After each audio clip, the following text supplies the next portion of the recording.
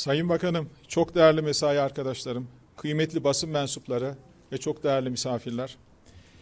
Milli İstihbarat Teşkilatı'nda 13 yıl süren ve ağır sorumluluk gerektiren görevimin ardından aynı derecede mesuliyet gerektiren Dışişleri Bakanlığı'na atanmış olmam nedeniyle şahsıma gösterdikleri güven ve takdirleri için Sayın Cumhurbaşkanıma şükran, şükranlarımı arz ediyorum.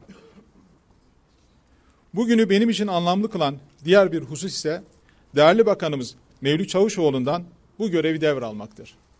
Kendisiyle arkadaşlığımız Bilkent Üniversitesi'nde yüksek lisans ve doktora yaptığım yıllarda aynı sıralarda başladı.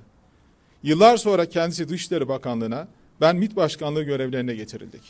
Bu süreçte çok büyük bir uyum ve güven içerisinde kritik ve zorlu görevleri birlikte ifa ettik.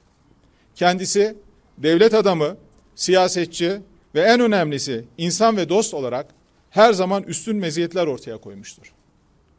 Yine benim için bugün önemli bir husus, 2003 yılında TİKA başkanlığına atanmamla başlayan son 20 yıllık süreçte çok yakın çalıştığım ve bütün mensuplarının dünyanın her tarafında fedakarlıklarına bizzat şahit olduğum, pek çok mensubunu ismen tanıdığım hariciyemizin sorumluluğunu almaktadır, almaktır. Bugün Cumhuriyetimizin 100. Hariciye Teşkilatımızın temellerinin atılmasının 500. yıl dönümünde aranıza katılmaktan büyük mutluluk ve gurur duyuyorum. Bu görevim esnasında milletimizin büyük bir takdirini kazanarak yeniden seçilen Sayın Cumhurbaşkanımızın vizyonuna ve temsil ettiği değerlere uygun şekilde devletimizin ve milletimizin bütünlüğü, güvenliği ve refahı için elimden gelen her türlü gayreti göstereceğim.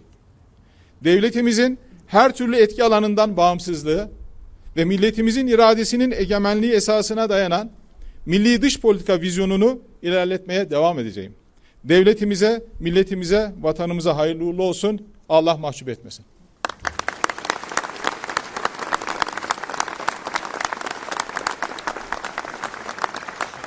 Allah razı olsun.